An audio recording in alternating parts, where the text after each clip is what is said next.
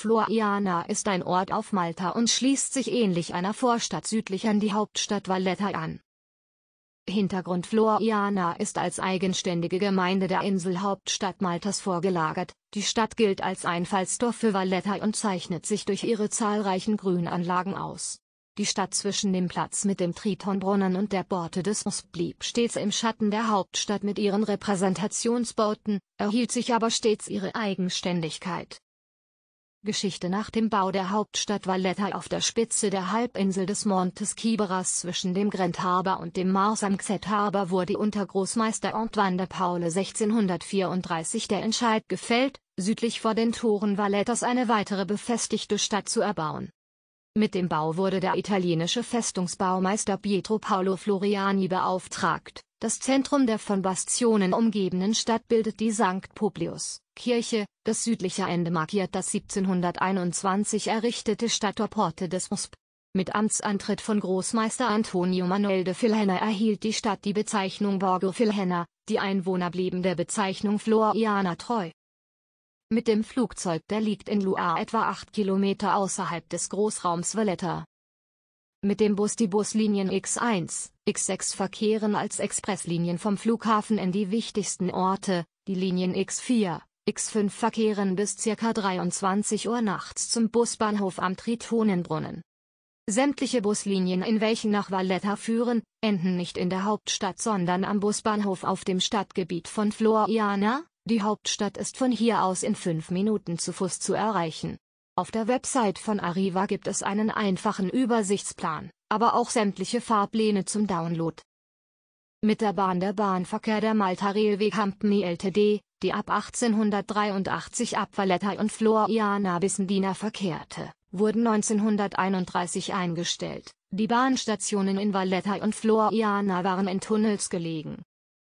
Auf der Straße eine Hauptstraßenverbindung, Tricu San Gorg Preka größer als Tricu Nationali größer als Tricu Sant'Anna, verbindet Floriana und den Zugang nach Valletta mit der Hauptstraße 1, die den Nordwesten mit IC Circuva über Ilhamrum mit Birzeburger im Südosten verbindet.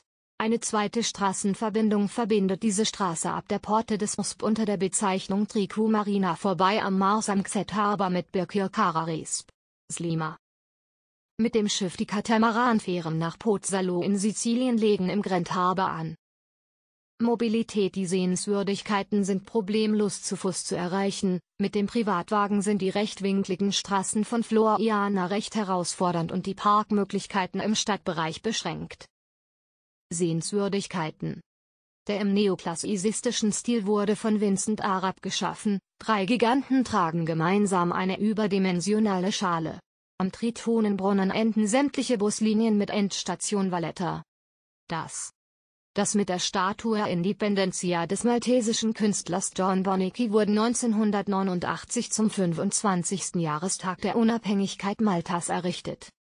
Die 400 Meter lange parkähnliche Promenade wurde von Großmeister Lascaris 1656 erbaut. Ursprünglich diente das Gelände den Rittern zum Maglio, einem golfähnlichen Spiel, bei dem Holzball mit Schlägern auf ein Ziel zu befördert werden musste. Die umgebenden Mauern wurden 1942 entfernt, neun Skulpturen maltesischer Honoratioren schmücken die Promenade.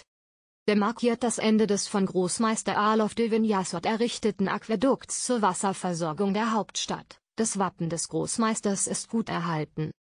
Der Barocke mit dem Löwen als Wappentier von Großmeister Philhenner, der heute noch das Wappen von Floriana ziert, wurde 1728 errichtet.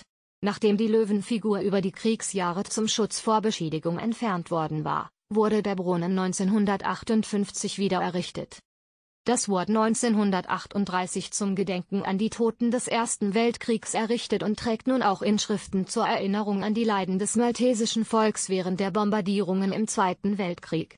Ganz in der Nähe liegt auch das RAF-Memorial zu Ehren der Gefallenen der britischen Luftwaffe im Zweiten Weltkrieg. Eine Treppe führt hinab zum Passagierquai am Grand Harbor. Die als Pfarrkirche von Floriana trägt ihren Namen zu Ehren eines der ersten zum christlichen Glauben bekehrten Einwohners von Malta, des legendären ersten Bischofs von Malta und heutigen Schutzpatrons der Stadt Floriana.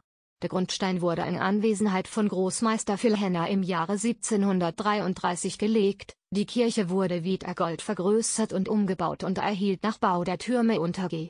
Bonnecke 1771 und der heutigen Fassade 1885 ihr heutiges Aussehen.